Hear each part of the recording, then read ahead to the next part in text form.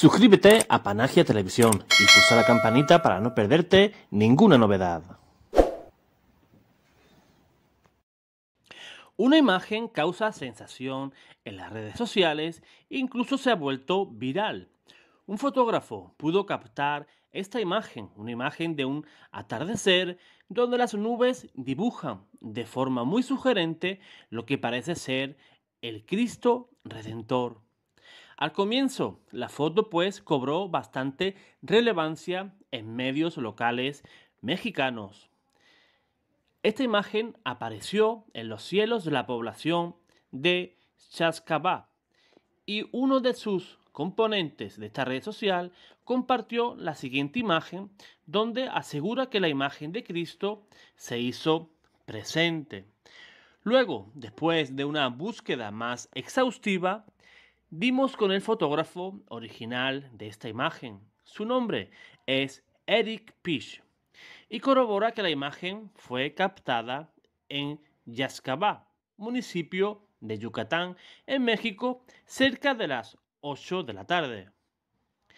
En su posteo, en su perfil de Facebook, comentaba lo siguiente. Soy fanático de los atardeceres y cada vez que veo la posibilidad de sacar una buena toma, hago todo lo posible para hacerla. Así que les comparto esta belleza. No sé si se trata de alguna señal, pero la toma habla por sí sola. Luego de que la imagen se viralizara en las redes sociales, el autor publicó otro posteo donde compartía su opinión sobre la misma fotografía. Gracias por, por compartir un experto en estos temas, el cual estudia cada imagen antes de compartir para corroborar que no se trata de ningún tipo de Photoshop como muchas personas mencionan. Más bien se trata de una pareidolia. Pero muchos se preguntarán, ¿qué es una pareidolia? Pues la pareidolia deriva etimológicamente del griego que significaría o se traduciría como figura o imagen.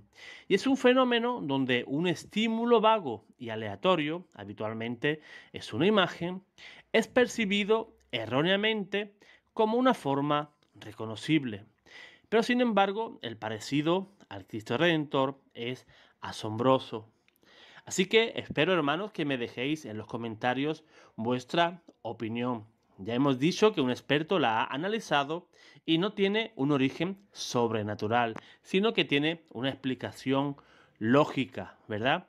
Así que espero que me dejéis vuestros comentarios y me digáis qué os parece. Dios os guarde, Dios os bendiga.